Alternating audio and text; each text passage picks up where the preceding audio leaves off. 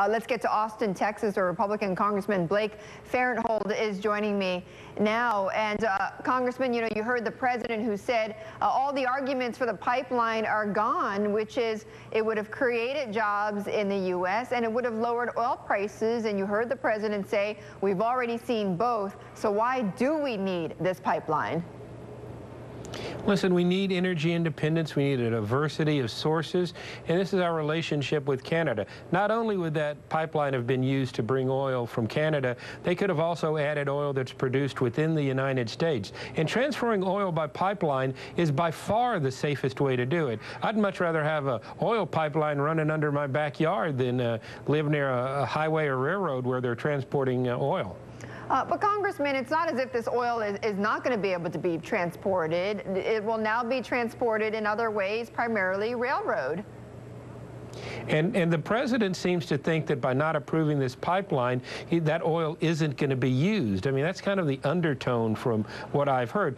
The oil is there, and it's going to find its way to market, whether it's in the United States, where it will be refined under our higher environmental standards, or whether it'll go uh, west and eventually make it on a ship to China, where they don't have our environmental standards. I actually think we're doing more damage to the environment by not approving this pipeline than we would be if we were improving it. Uh, so, Congressman, what are you going to do now? What can be done? I think it's going to be, uh, Phil had it right. We're going to have to wait until we've got a new president. Uh, Obama has uh, dug his heels in the ground, and unfortunately, we don't have a veto-proof majority. As I talked to some of my Democrat colleagues in Washington, they say even voting for the Keystone Pipeline they could do, but it would be a much harder vote to override a president of their own party's veto. Uh, you know, I, I, think you do the right thing and, and, vote to override, but there aren't the votes there right now. Uh, but Congressman, if you do bring this issue back, let's say after 2016, I mean, most economists don't expect, for instance, oil prices to have really rebounded that much. So uh, the argument that this would help lower oil prices is not really there anymore.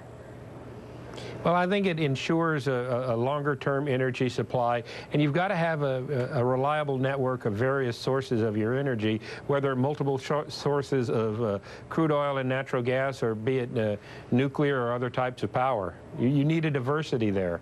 Uh, okay, Congressman, I want to play for you part of because we had, of course, obviously the, the, the president this morning uh, speaking on this uh, on this decision.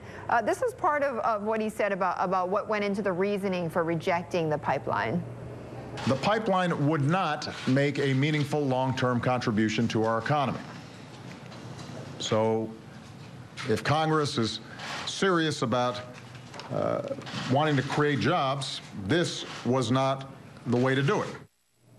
So why is he wrong here? I mean, I understand your argument that uh, the Keystone Pipeline uh, goes in some somewhat a, a, way towards our energy independence, but it is not the only way, Congressman, for us to achieve that.